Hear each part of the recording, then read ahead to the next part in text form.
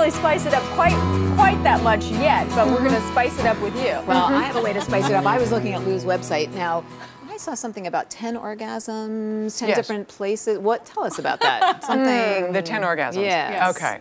Here's the thing about 10 orgasms. Women are capable of having 10 different types of orgasms, men 8. And what I, when I wrote my book The Big O, what I was looking for is validating scientific based information that told people that your experiences are real and scientifically can be backed up. Mystery Chick 3000 wants to know Is there a similar physiological condition to blue balls for women? Thank you, Mystery Chick.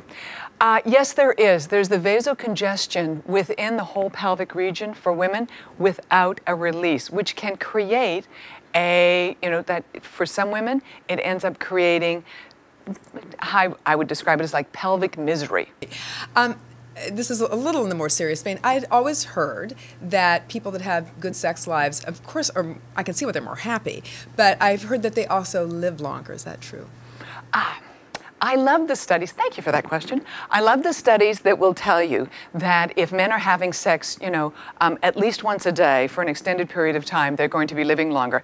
Just a little FYI: the majority of the people writing those studies are men. However, what I will also tell you is that if you when you are feeling emotionally more connected and when you are feeling better, you live longer. We know that. We know people who are socially marginalized do end up having other things, other psychological pathologies or other things happening with them.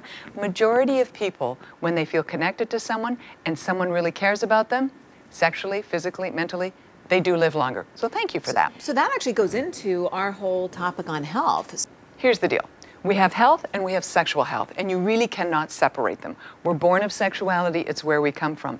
We identify as who we are sexually, we are sexually involved with people. So when you have a good attitude about it, when you feel good about it, you have a way of going through the world where it works better for you. You live longer, you have better relationships, and you feel better about yourself. Ergo, better health, better sexual health. So, in finishing up, we talked about female number one motivator. Mm-hmm. What would be, as a wrap up, the number one motivator for men as it relates to sex? Is it what we think?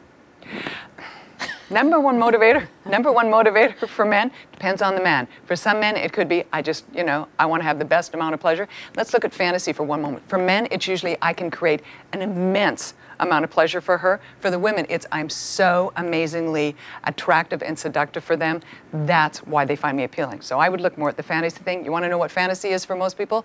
Watch what they wear on Halloween.